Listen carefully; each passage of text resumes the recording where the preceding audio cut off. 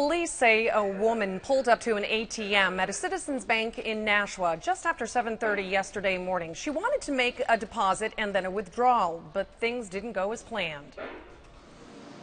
It was here at this ATM on Main Street in Nashua where the frightening encounter took place. Nashua police say a woman who had just made a deposit was about to make a second transaction when she found she was no longer alone.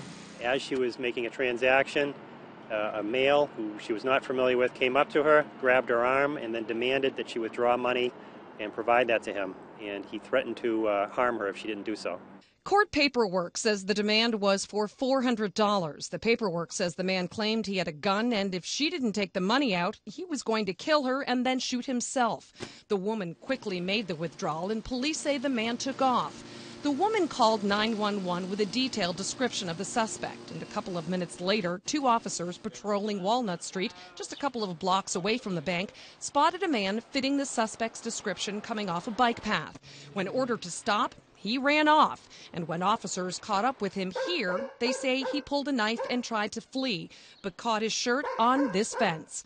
Police took 36 year old Eric Williams of Nashua into custody and say they found $400 in his shirt pocket. Nashua police say a robbery of this kind rarely happens. I would suggest to anyone just be vigilant of your surroundings, be aware of your surroundings. Uh, certainly, anytime you're at an ATM, uh, that would be good advice. And folks we caught up with are taking that advice. I'm always concerned about that happening because it's just, you know, in my prior life, I was a policeman and I'm always aware of what's going on around me. I really am. That's just the way I am. I always do. Look behind me, even when I walk. Now, Eric Williams is being held right now on $300,000 bail. He was arraigned this morning on charges of robbery and assisting arrest, or rather resisting arrest, and he is scheduled to be back in court on June 21st. Live in the newsroom, I'm Suzanne Rowntree, WMUR News 9.